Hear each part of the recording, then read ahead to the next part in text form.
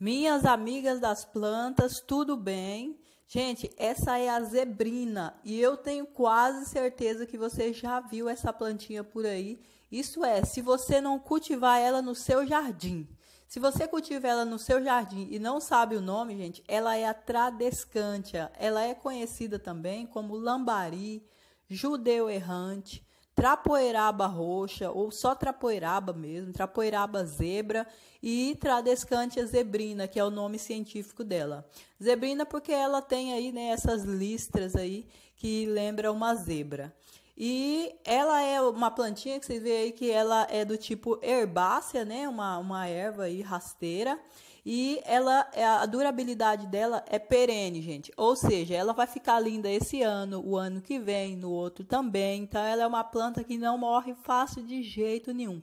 A origem dela é do México. Ela é uma planta que veio de lá e que é cultivada com muito sucesso no Brasil. E a ornamentação dela é através da folhagem. E olha que as flores dela são muito fofas, mas a folhagem rouba a cena. O grau de cultivo dela, gente, é muito fácil, extremamente rústica.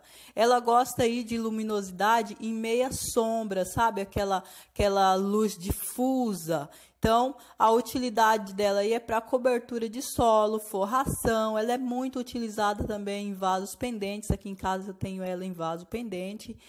O que ela gosta? Ela gosta, gente, de terra fértil, sabe? Sabe aquela terra que você raspa assim, embaixo da mata ali, aquela terra cheia de humus? Ela gosta daquela terra. Gosta também de uma boa drenagem, sabe? Aquela terra que se mantém umedecida, aquela terra que dá uma segurada um pouco na água, mas sem deixar aí o vaso encharcado, claro. Tem que ter furos aí no vaso, se você for cultivar ela em vaso para não encharcar.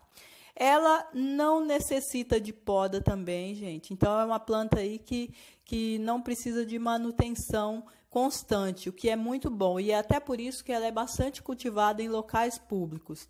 Mas uma, uma outra característica dela é que ela não tolera geadas, tá? E a multiplicação dela é por estaca e pela ramagem enraizada.